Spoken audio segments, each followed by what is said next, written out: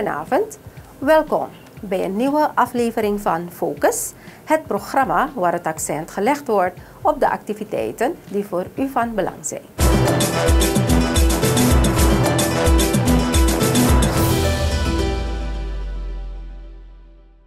Vandaag in Focus, president Santoki geïnformeerd over veiligheidssituatie.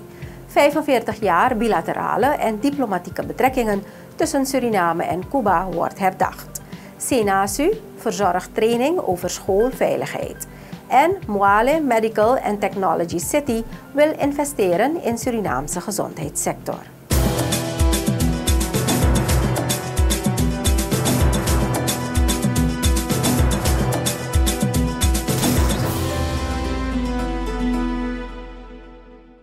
Veiligheid staat hoog op de agenda van de regering.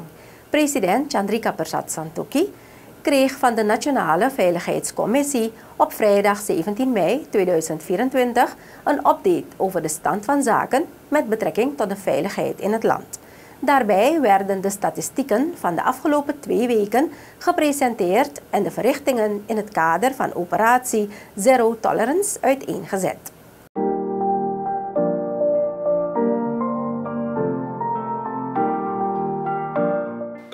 van de veiligheidsmeting.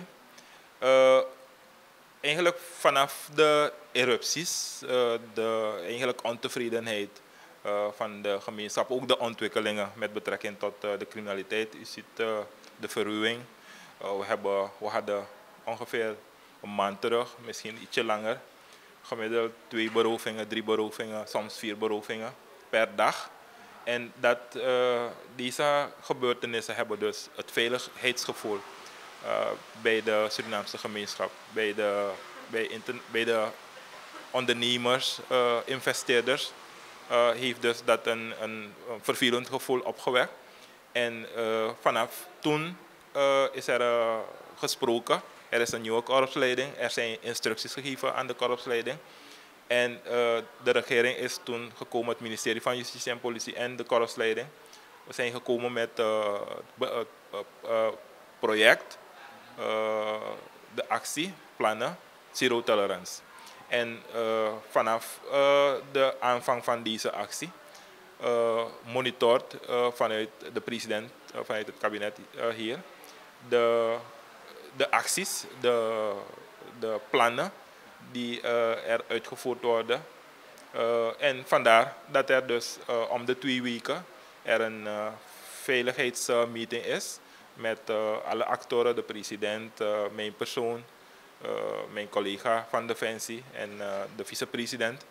En, en, de andere autoriteiten, DNV. dus zo komen we bij elkaar en we monitoren, we bespreken. Er, zijn, er waren presentaties. En mijn conclusie is dat het de goede kant, op gaat. De acties die de, de laatste weken zijn uitgevoerd, aanhoudingen van personen, in beslagname van wapens, illegale wapens, de strafbaar feiten ter zake waarvan er verdachten zijn aangehouden. Dus die presentaties zijn gehouden. ook gesprekken over de middelenvoorziening. Hoe dat allemaal loopt en hoe dat vlotter kan gaan. Perikelen over overuren die toch wel uitbetaald moeten worden, zodat er geen stagnatie optreedt in, in, in het werk. Natuurlijk, het tempo moet erin blijven. dat zal ook zo gaan. Dus de instructies zijn ook gegeven om op deze manier door te gaan. Wij als regering, het ministerie van Justitie en Politie, moet ervoor zorgen dat de middelen uh, beschikbaar zijn. Uh, dat is een aangelegenheid van uh, mijn persoon en mijn collega van Financiën. En ik spreek natuurlijk de hoop uit. En ik reken ook op het uh, Suriname en de andere veiligheidsdiensten, Defensie, KPA, BBS, de brandweer soms. Dat, het, dat we beter, tenminste, dat we de situatie zoals het is, kunnen verbeteren we, we, we streven natuurlijk naar excellence. En dat de gemeenschap kan blijven rekenen op, op ons.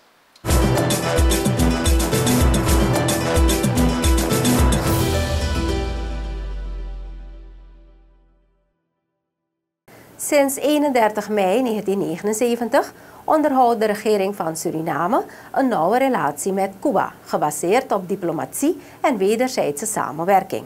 Op vrijdag 17 mei is de aftrap geweest van een reeks activiteiten die gepland zijn om de 45ste verjaardag van de diplomatieke betrekkingen tussen Suriname en Cuba te herdenken. De komende weken zullen er nog meer activiteiten plaatsvinden. De communicatiedienst Suriname sprak minister Albert Ramdien van Buitenlandse Zaken, International Business en Internationale Samenwerking.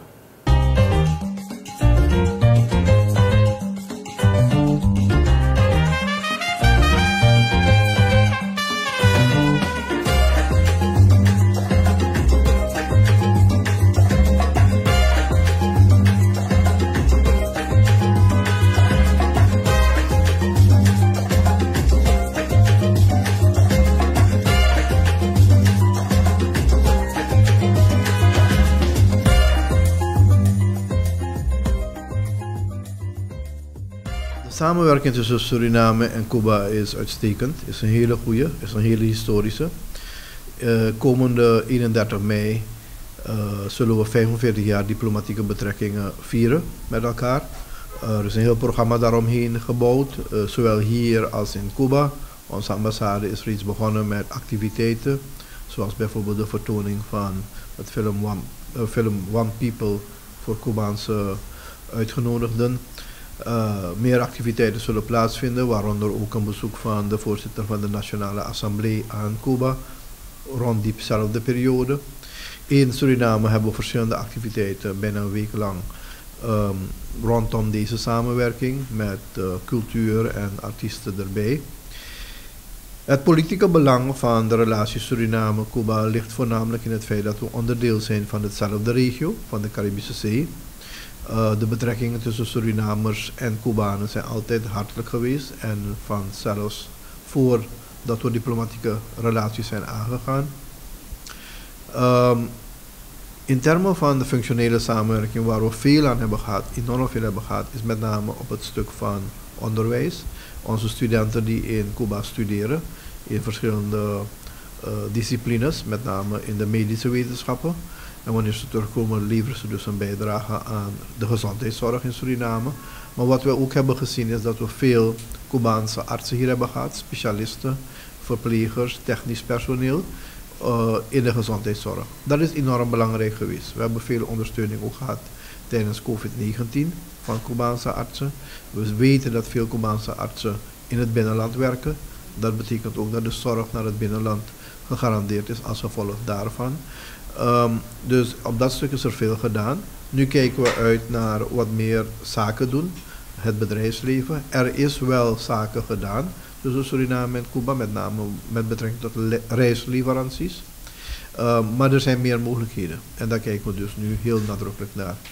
Um, dus al met al een goede relatie. Het is natuurlijk een, een, een belangrijk land in deze regio. Ze hebben hun eigen problemen, hun politieke issues met de Verenigde Staten. Uh, de economische situatie is vrij moeilijk. Maar al met al moet ik zeggen een trots volk dat veel heeft doorstaan en heel nationalistisch is. Um, en in dat opzicht um, is het ook een inspiratie om te zien hoe zij proberen uh, door die veerkrachtigheid die ze hebben om boven de problemen uit te komen.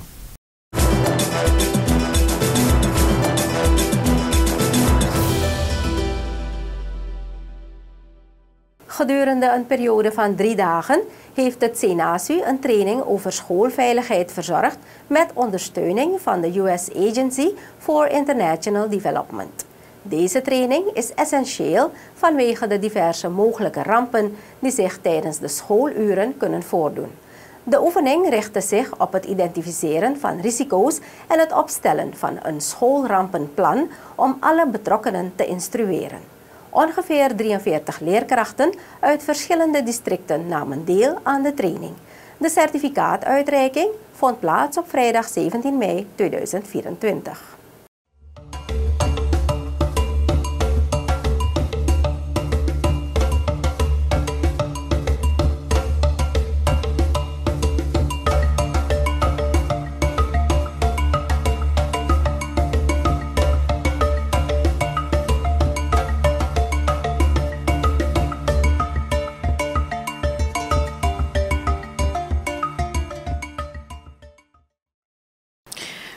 Goeiedag. Op die safety training hebben wij geleerd hoe we onze omgeving veilig kunnen stellen. Vooral voor de leerlingen en de leerkrachten, voor ons allemaal om in een veilige omgeving les te geven en te werken. En dat die kinderen ook in een veilige omgeving hun lessen volgen. We hebben geleerd om uh, zoveel mogelijk veiligheidsmaatregelen te treffen. En deze training moeten we eigenlijk um, door middel van een stappenplan moeten we die kinderen alvast warm maken. Zeg, als er een ramp uitbreekt, deze mensen, die trainers, die zijn van St. Lucia. En ze hebben aangegeven dat uh, in hun land, bijvoorbeeld die Caribische eilanden, ze vaker getroffen zijn door natuurrampen. In Suriname zijn we gezegend, we kennen dat niet. Maar er kan een brand uitbreken, waardoor we die kinderen alvast trainen door signalen aan te geven als ze zo'n bel horen, dat ze niet in paniek raken. Hoe we die kinderen veilig kunnen houden, evacueren. En uh, er kunnen ook ongelukken gebeuren. Dus dan moeten we ook denken aan onze een uh, eerste hulp. Hoe kunnen we dat kind makkelijk helpen en niet uh, paniekerig raken? Kinderen zoveel als mogelijk in een veilige omgeving houden.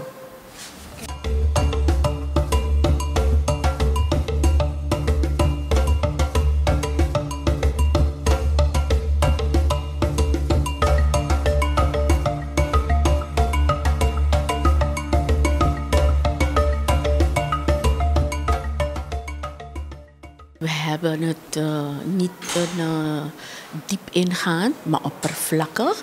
We hebben zo'n handleidingboek met alles step by step gevolgd. Over hoe, hoe je moet behandelen, zo iemand. hoe het heel totaal plan eigenlijk hebben we van deze mensen gekregen. Dit is in een handleidingboek. We hebben zo een uh, simulatie gedaan vanmorgen op de Theodor Judas School. En uh, we hebben het in praktijk gebracht. Dus de, we hebben met de leerlingen afgesproken dat uh, ze let, moeten letten op een signaal wanneer een ramp is uitgebroken. En toen hebben we die kinderen geprobeerd uh, veilig te houden aan een kant. Anderen waren misschien in het toilet gaan schuilen door paniek. En die kinderen moet je dan halen. Het gaat om een, een netwerk dat we op elkaar afgestemd moeten blijven.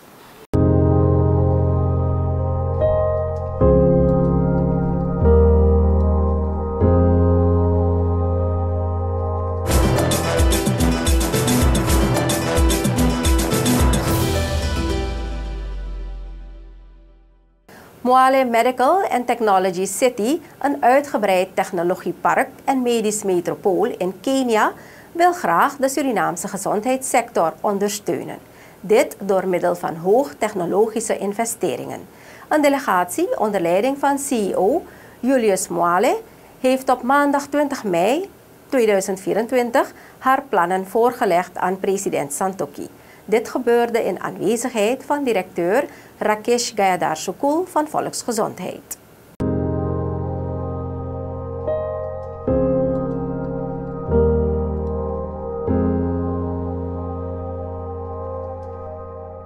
Valley Medical and Technology City is a $2 billion uh, medical and technology city, yeah, based in Kenya. And it's expanded into 12 countries in Africa with 18 locations where we're building 18 other cities.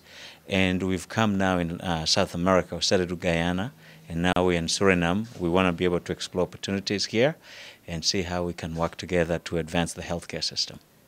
Yes, so we're looking at, uh, right now we are visiting uh, some hospitals in the area and we want to see the needs of those hospitals. So we had a meeting with the president today. We met him earlier in Guyana uh, two months ago and he invited us to come to the country. So we want to look at what uh, they need in terms of staffing. Yeah, we want to see what they need in terms of like, you know, being able to get enough drugs and medication for people and also expand because our city is uh, an entire city. So we want to expand into doing another smart city with state oil pension fund and then be able to also do other activities with Suriname Air and then explore the country and work on food banks and, and you know be, be able to make sure that the country has enough security and it's ready you know for uh, the resources that are coming in three years. Yes, uh, I think you know the meeting went very well. The president was excited to see us again, welcomed us in the country, told us to go tour the country. So we're going to tour the country, see these projects. We'll meet with him again before we leave, but we're expecting to have a long-lasting partnership to develop Suriname to become an industrialized country by uh, within the next decade. Uh, hospitals, uh, managing the hospitals, and then smart cities, building the smart cities in the country, you know, with state oil pension fund, and then working on medical tourism. And we want to see if there's an opportunity to do airports, you know, a new international airport to support, you know, that medical tourism with Suriname Airways. Uh, as soon as we are ready, we, are, we think we're going to begin that, you know, within the next three to six months, and then, you know, work on it, you know, after feasibility study, and then work to be able to complete it. Yeah, we, we are financing the project, so we are coming in with our partners and investors and financiers, you know, working to finance, you know, the projects to be able to do it. And in managing, you know, the hospital system, we'll work with the Ministry of Health to be able to understand how to bring in staffing and how they're going to be able to work with that. Yes, yes, and he's invited us to visit four hospitals. So after we visit the hospitals, we'll have the answers to that. And we're excited, we think, because they're having a problem with competition of resources, uh, the staff being poached by neighboring countries, nurses and doctors. So we are looking forward, maybe, to be able to bring our doctors and nurses to be able to manage the healthcare system in Suriname.